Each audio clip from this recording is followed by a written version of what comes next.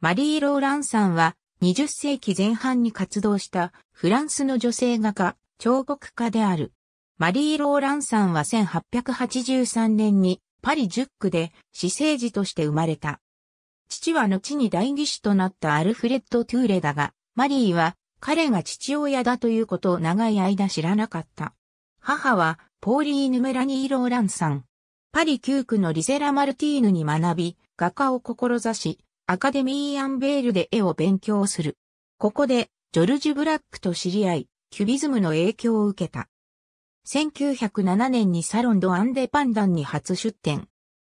この頃、ブラックを介して、モンマルトルにあったバトーラ・ボアールという安アトリエで、パブロ・ピカソや詩人で、美術評論家のギオーム・アポリネールと知り合った。アポリネールと出会った時、彼は27歳、ローランさんは22歳。二人は恋に落ちた。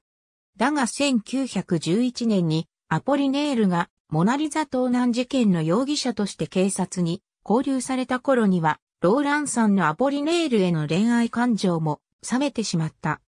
その後もアポリネールはローランさんを忘れられず、その思いを歌った詩が彼の代表作、ミラボー教であるという。1912年に開いた最初の個展は評判となり、その後、次第にキュビスムから脱する。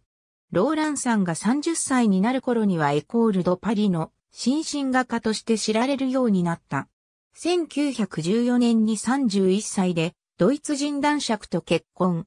これによりドイツ国籍となったため、同年に第一次世界大戦が始まると、はじめマドリッド、次にバルセロナへの亡命生活を余儀なくされた。戦後、1920年に離婚して単身パリに戻る。パリに戻ったローランさんは、パステルカラーの簡潔で華やかな、夢見るような少女像という独特の画風を作り上げ、フランス史上狂乱の時代と称された1920年代にあって時代を体現した売れっ子画家となった。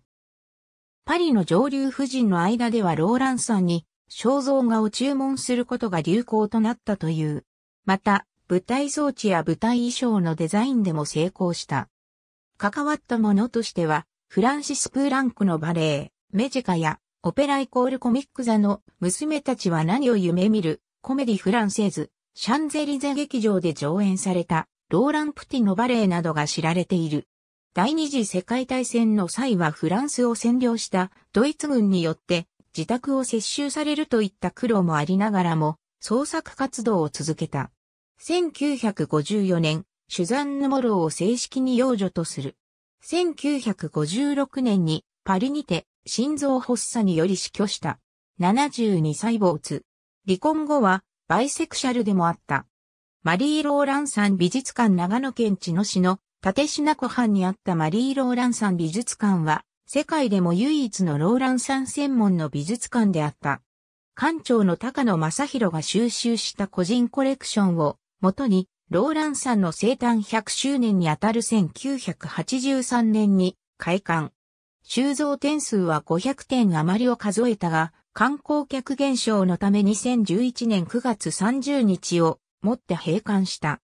その後、フランス、パリのマルモッタンモネ美術館、台北の中世記念堂、台中の台湾美術館、日本各地での巡回展示を経て、2017年7月15日、ニューオータニガーデンコート6階で美術館が再開したが、2019年1月14日をもって再び閉館となった。ありがとうございます。